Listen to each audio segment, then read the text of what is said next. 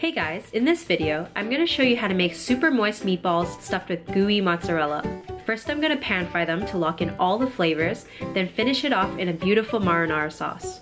So let's get started. So here I have a pound of ground pork, and then I'm gonna add a pound of ground beef. So to the meat mixture, I'm gonna add two eggs. Give it a good mix before you add it. Up next, I'm gonna add five dashes of Worcestershire sauce, two cloves of grated garlic,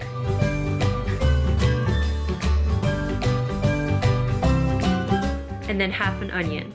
And I'm gonna grate this as well. Up next, I'm gonna add a teaspoon of salt, some cracked black pepper, and 1 cup of Italian breadcrumbs. To finish it off, I'm going to add a half a cup of grated Parmesan. Then make sure you wash your hands and give it a good mix.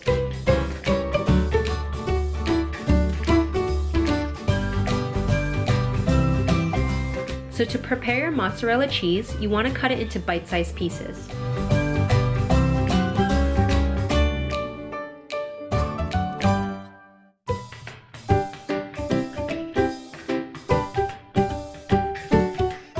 Next, I'm gonna grab a tray and then place some olive oil on it. This is where I'm gonna put the meatballs on. To make the meatball, you wanna grab about a golf ball size amount of meat.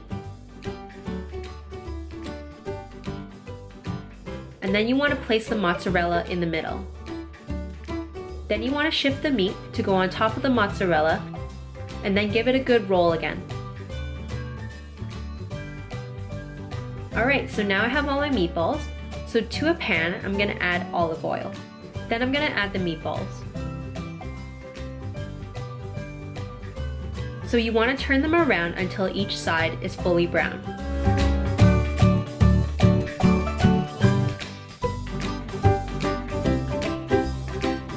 So up next, I have some previously made marinara sauce, and I'm gonna finish cooking the meatballs in there. You can also use pasta sauce. So after about 10 minutes, your meatball should be done. Finish it off with some fresh parsley. And there you go, juicy and warm meatballs that are perfect on top of pasta. These are great for lunch or for dinner. Enjoy, and make sure to subscribe to my channel for more weekly videos.